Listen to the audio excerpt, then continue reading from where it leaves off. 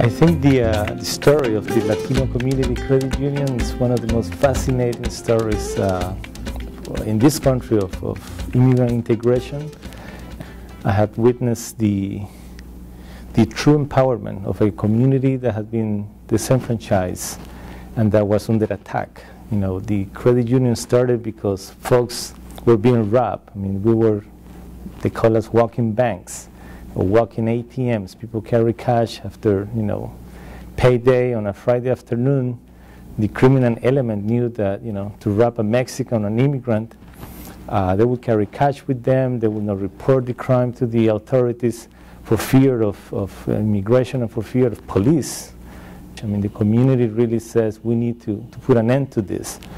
And that's exactly what happened in, in, in Durham, June 26th of of 2000 uh, when the, the, first Latino credit union got chartered in North Carolina.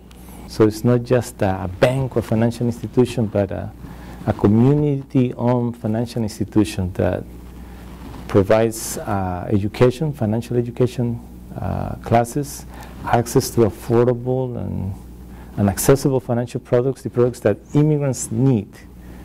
Um, and people see the, the impact of that. And we have ended being a model of how to get new immigrants, new Americans into the financial system in the United States. When immigrants come here, the, the first generation is generation of sacrifice. With the language you don't understand, but you want to provide better for your kids.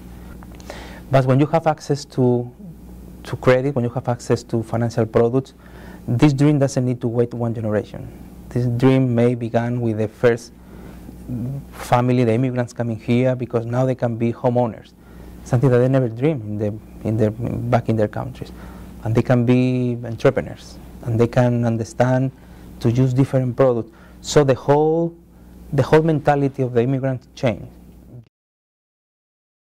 A few years later, we began with our credit card, we began with our mortgage program, we began with our small business loans. And we keep evolving and we're going to keep listening to, to our owners. I mean, that's part of our, that's the beauty of this financial institution. We don't do things intended in, in our own benefit. It's intended in the benefit of, the, of our membership. This is a country that the, here there is no problem for having access to credit. There is a lot of credit. The problem is having access to uh, ethical credit credit that really is intended to help you to reach your goals. And when we see that, when people are able to pay their cards back, when they're able to use uh, credit cards and now they, and they, feel comfortable not abusing and not getting into deep debt that eventually can break them, people are able to dream and to realize that they can own their own houses. And we have this small credit union serving low-income immigrants with the lowest delinquency rate in the whole country. With, we are able to, to keep our, our, our families in their houses because we educate them, we, we find the right product for them to buy their houses. And sometimes the right product is to tell them you are not ready, so you shouldn't buy your house now. Basically, we reflect who, what are the, uh, the demographics of our own community.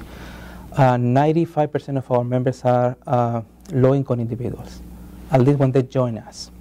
And 75% of our members, when they join us, they never had a, a, relationship with a financial institution before in their lives. Not just here in the United States, but even in our country of origin.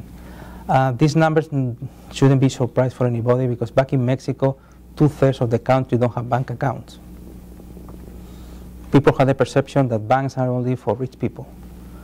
Um, this model, this cooperative model, where all of us receive benefits when we don't discriminate in prices, when it's the same prices for everybody. And that sounds silly for many financial institutions because they don't do it. Usually you charge more with people with less resources.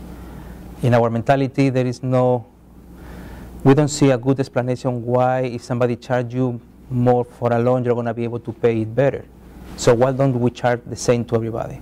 Don't penalize people for being poor, for not have access to, to wealth in their families or in their networks. We've been named the fastest growing credit union in the history of this country. We have uh, spread around the state and now we have 10 locations to serve our members. Uh, we did that as a response for the request from our community. They, they want more convenience, they want more locations.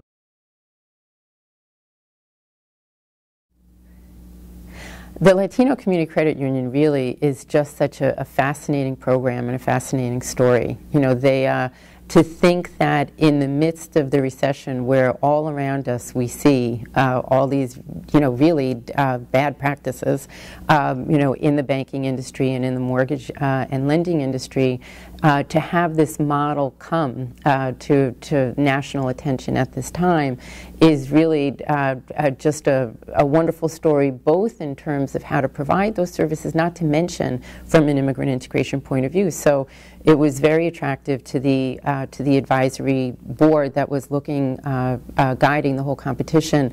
Both the fact that they were reaching such extraordinarily large numbers, I think almost 52,000 members, that they have so many people that are traditionally unbanked and don't have access to services that help them build credit, help them get uh, small loans for their businesses, help them get mortgages at a reasonable, uh, at a fair rate, et cetera, et cetera. All of those things were happening uh, in addition to having a, a, financial literacy program that is uh, really a national model that many, many people are picking up. Uh, so, and, and on top of all these things that they're uh, that they're doing for the community, it's a it's a member-owned institution. So, uh, really, just the the ethics almost of it for the community, where everything they're doing is tied to the community, understanding its needs uh, to sharing profit with the members, et cetera, et cetera. It's, uh, it's a pretty extraordinary story.